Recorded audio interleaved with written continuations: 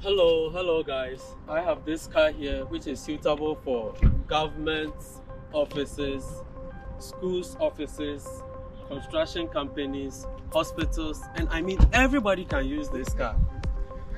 This car has a dual engine system which is uh, it has an engine capacity of 1.5 and it has also got a battery which can be charged for six hours and can be driven up to 80 kilometers, which is convenient, of course, from home to work and from work to home. Okay, guys, I want to introduce to you the interior of the car. This is the steering wheel.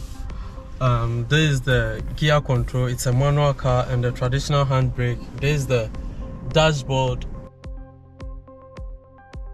Turn on the air conditioning in the car to have a feel of it. First we roll our glass and we turn it on.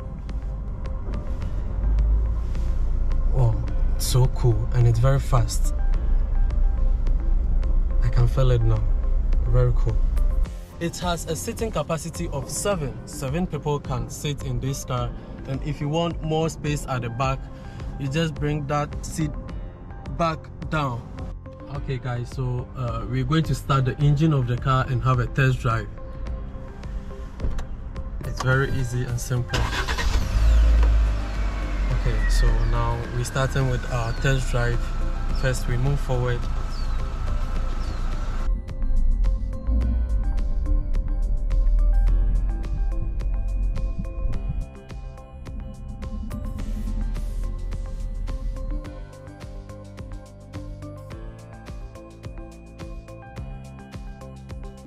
okay guys we finished with our test drive and it's very easy to change the gear control and the steering wheel. So if you are going to a long distance drive you'll not be very tired. And uh, it's very convenient to to change the controls on the dashboard. I mean everything is very nice and simple on this car especially for schools for hospitals for government officials for government offices. I mean, everybody, everybody can use this car. Its engine capacity is 1.5 and it can be charged to as an electric car and it can run up to 80 kilometers after each charge, which is very convenient to move from home to work and from work to home. Okay, guys.